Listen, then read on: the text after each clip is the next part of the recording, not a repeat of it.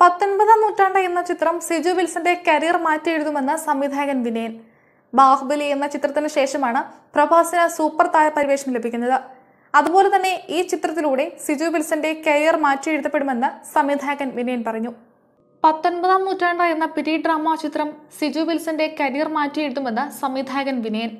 പുതുമുഖങ്ങളായ ഒത്തിരി താരങ്ങളെ അവതരിപ്പിച്ചിട്ടുള്ള ആളാണ് വിനയൻ. ഒരു പതിനേഴ് വർഷം മുൻപ് സത്യം എന്ന ചിത്രത്തിലൂടെയാണ് പൃഥ്വിരാജിന് ഒരു ആക്ഷൻ ഹീറോ പരിവേഷം വിനയം നൽകുന്നത്.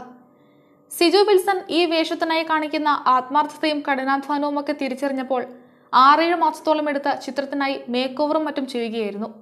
പിന്നീട് രണ്ടു മാസം കഴിഞ്ഞാണ് ചിത്രീകരണം ആരംഭിക്കുന്നത്. ബാഹുബലി എന്ന ചിത്രം വന്നതിനു ശേഷമാണ് പ്രഭാസിന് സൂപ്പർ താര പരിവേഷം കൈവരുന്നത്.